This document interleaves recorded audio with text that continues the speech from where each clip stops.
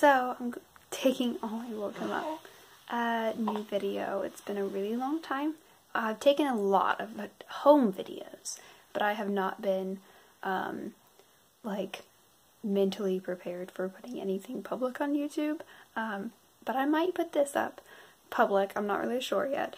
Um, I have tried to capture him while he's tiny for just for our sake, but it has not been pretty at all.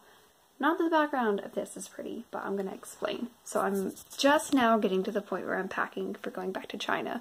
We're thinking it's about a month away now, hopefully, um, if his visa is done in time, which I'm not really sure that it will be. It's hard to tell sometimes though, but anyway. Um, this is the first suitcase. It's almost packed. It's also one of the biggest ones we have. Um, and I have been able to fit a ton in it. And I just thought I would take a really, really short video to kind of go through how detailed I am with packing. um, every single suitcase, I take a page in my notebook and I write which suitcase at the top. So like this one's the tan one. That way I can, um, you know, tell which one I need to look into first if I want to find a specific thing when I when we get over there.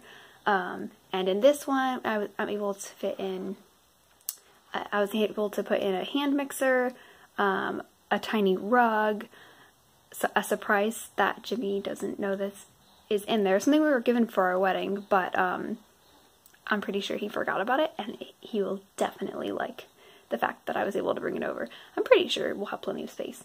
Um, a, a, new duvet cover for our bed so that we have a second one. Um, a small stone casserole dish that'll fit in our toaster oven over there, and then a lot of my um, dresses that did not fit me when I was pregnant, so I didn't take them over there with me. And so now I'm taking them. Um, yeah, maternity jeans, just in case in the next year I do get pregnant. I'm not going to want to be stuck over there without them. I just want to be prepared. um, and then just a ton of Kevin's baby things, like, well, I'm starting to fit a lot of his clothes in to kind of fill it up.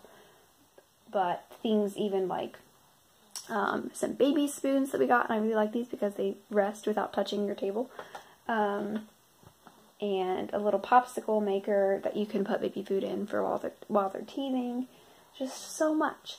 Um, and basically I keep it all in a notebook.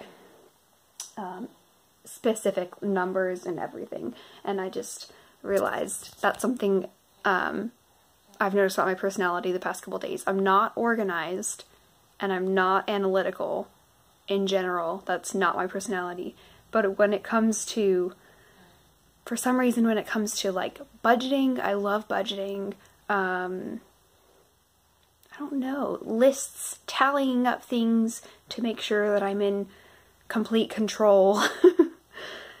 For some reason, I'm all of a sudden organized when it comes to things like this. I think it's because I'm just really scared of being out of control of these situations. Um, you know, forgetting something really important to us. I don't know. But I, know, not, probably no one's even watching this, but if anyone is and they feel like they're the same way, or if you have any thoughts about this kind of thing, um, I'd be so interested to hear it because I love different personality types, and I've and I keep finding myself going, oh, that doesn't really make sense because in general, terrible backlighting. Um, in general, I'm really not an organized person with my time. I mean, it's really just a weak point, and yet when it comes to packing, I am so detailed. Oh, and I and I weigh each suitcase over and over and over again to make sure that it's packed to the utmost potential for like weight. You, each suitcase can weigh 50 pounds. Um, so if I get to the end of this and it weighs too much, I'll take out some like dense things like that stone casserole dish and replace it with a fluffy blanket that I pack really tightly or something like that um, but will still weigh less, even packed tightly. And I will reweigh it and reweigh it until every suitcase is as full as possible and weighs as much as possible.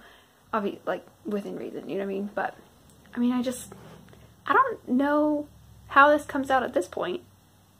You know what I mean? That organization part. And kind of analytical, right? I don't know, but I like it. Um, so, there's a tiny update. I know our room is a mess, um, but what can you expect when I'm looking through my clothes and Kevin's clothes and all kinds of different things that were given for the baby shower, trying to make sure that we are going to, back to China with everything that we will want for the next year. so, not very glamorous, but here is the update.